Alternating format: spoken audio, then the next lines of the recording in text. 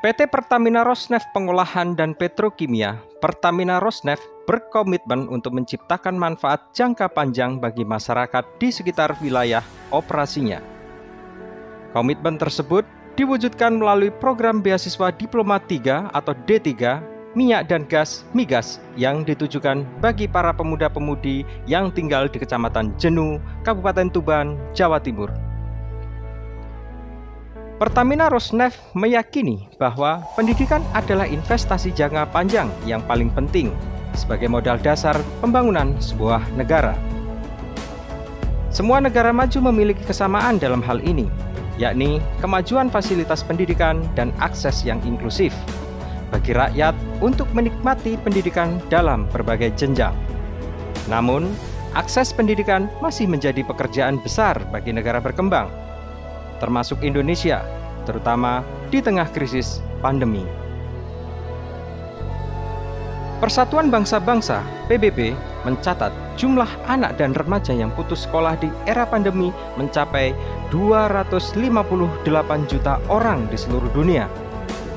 Hal ini terungkap dalam laporan Global Education Monitoring Report 2020 yang disusun oleh lembaga PBB bidang pendidikan dan kebudayaan yakni United Nations Educational, Scientific, and Cultural Organization atau UNESCO. Oleh sebab itu, Pertamina Rosneft berupaya membantu memberdayakan masyarakat dengan memberikan akses pendidikan melalui program beasiswa Diplomat 3 atau D3 di Politeknik Energi dan Mineral PEM Akamigas Cepu Perseroan mengalokasikan dana untuk membiayai mahasiswa untuk kuliah di Akamigas yang merupakan perguruan tinggi kedinasan di bawah Kementerian Energi dan Sumber Daya Mineral.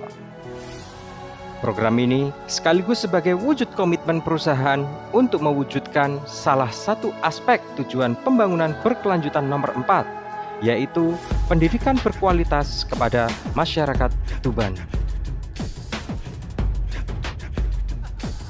Program beasiswa ini merupakan salah satu upaya untuk menunjukkan bahwa proyek GRR Tuban dan PT Pertamina Rosneft Pengolahan dan Petrokimia serius dalam menjalankan kegiatan operasi di Tuban dengan tidak hanya menjalankan bisnis mata akan tetapi juga mengajak masyarakat Tuban jenuh khususnya untuk maju dan berkembang bersama.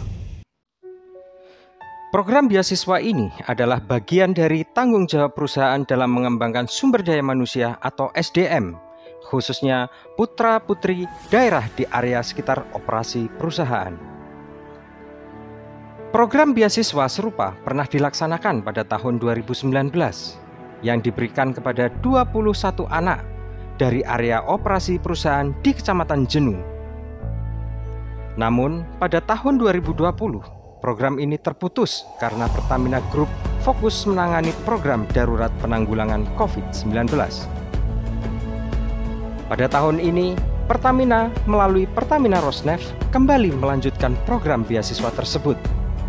Pertamina juga berharap agar para penerima beasiswa tersebut kelak dapat memanfaatkan dengan baik kesempatan ini untuk mengembangkan diri secara optimal dan berupaya yang terbaik ketika menempuh pendidikan nanti. Nah, ini adalah apa salah satu uh, kontribusi kami lah Pertamina Roadstep kepada masyarakat sekitar area operasional Hilang Jaya Tuban, terutama kepada generasi muda untuk dapat mengembangkan diri lebih baik dengan uh, berkuliah di uh, Pema Kamigas, salah satu institusi yang terkemuka di uh, bidang minyak dan gas di Indonesia.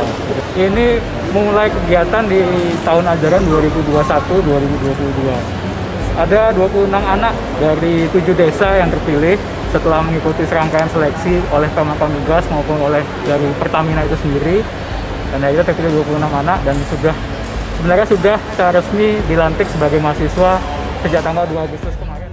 Setelah dari PEM Akamigas, para penerima beasiswa tersebut akan ditantang untuk dapat berkontribusi terhadap kemajuan Tuban dan diharapkan menjadi energi baru bagi kilang GRR Tuban di masa yang akan datang.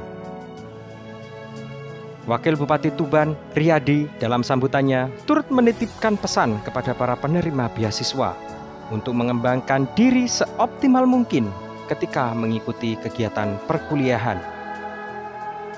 Riyadi berpesan bahwa kesempatan untuk berkuliah di PEM Akamigas ini dapat dijaga dan dapat dipelihara dengan baik. Riyadi berharap anak-anak Tuban dapat menjadi yang terbaik nantinya. Dan ia juga berharap bahwa kerjasama dan sinergi antara Pertamina Rosneft dengan Kabupaten Tuban dapat selalu dibangun, dijaga, dan ditingkatkan agar seluruh masyarakat Tuban dapat merasakan berkah dari kehadiran Pertamina Rosneft. Ya, tentu ini salah satu apa bukti bahasanya Pemkap Tuban dalam hal ini eh, terbangun hubungannya sangat sinergis dengan investor. Dalam hal ini Rosneft Pertamina. Dengan membangun hubungan yang baik untuk penyiapan skill tenaga kerja ke depan dengan adanya investasi minyak mengikuti program pembelajaran tentu itu salah satu usaha untuk peningkatan SDM agar masyarakat Tuban betul-betul diberi kesempatan untuk jadi eh, pegawai tetap atau sebagai pelaku eh, investasi yang ada di Tuban.